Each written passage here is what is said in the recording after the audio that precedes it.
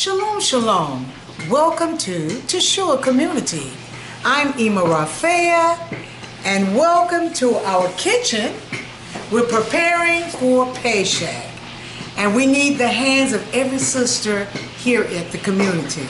So today we're making unleavened bread, a whole shikanya is on the stove, preparing fish, and we have a special treat for you, but you must watch the whole video.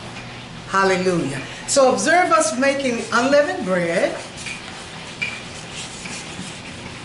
We do it in different varieties. We have peanut butter uh, unleavened bread. We have, what is yours called? Oh.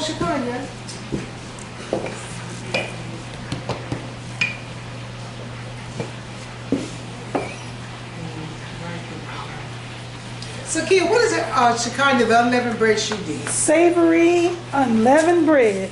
Thank you, daughter. And these are the wraps that we do, unleavened wraps.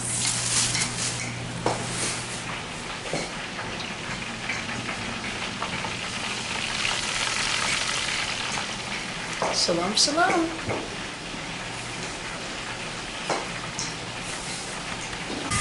Now here's the special treat.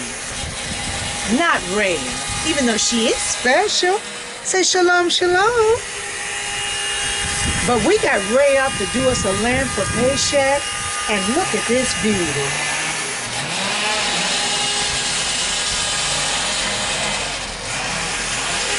Isn't that beautiful?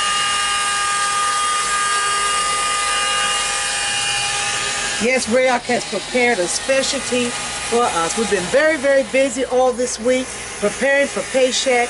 Most of all, keeping our minds focused on what the meaning of Pesach is, daughters.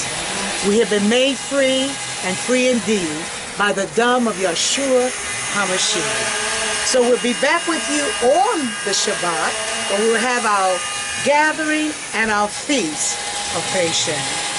We hope you enjoyed this little short video. Shalom, shalom. I'm Ima Rafea, and this is Little Rafea. Say shalom, shalom. Say be sweet, everybody.